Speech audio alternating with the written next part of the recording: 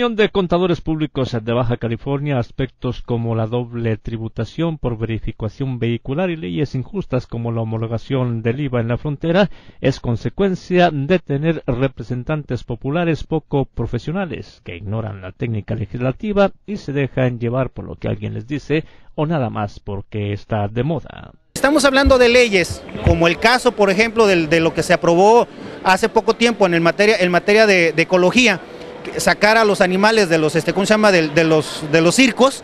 Pues pregunta, hay que, habría que preguntarles a los circos si, si quedaron o las fuentes de trabajo que tenían por haber sacado a los animales, pues este, les fue mejor. Entonces es una medida que incluso en materia ecológica pues ni siquiera, ni siquiera corresponde a lo que verdaderamente la ciudadanía, la ciudadanía quiere, ¿verdad? Entonces yo creo que tiene que ver aquí, el, el estudio debe ser mucho más profundo. Si continuamos con este tipo de representantes populares, al rato van a querer cobrar por cada ventana, comentó Matilde García, presidente del Colegio de Contadores. Rato van a decir que les tenga un impuesto sobre la cada ventana que tenga el, el empresario, ¿no?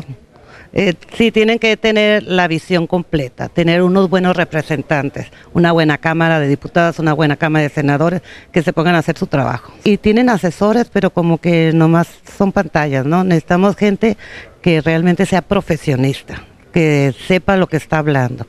Si nos, si estuvieran los bien representados, no necesitáramos tantos este, asesores ahí, que es un gasto doble también, ¿verdad? Si tuviera un buen este diputado, un buen senador, y las leyes se hicieran justas. En Tijuana, UTV, Uniradio informa.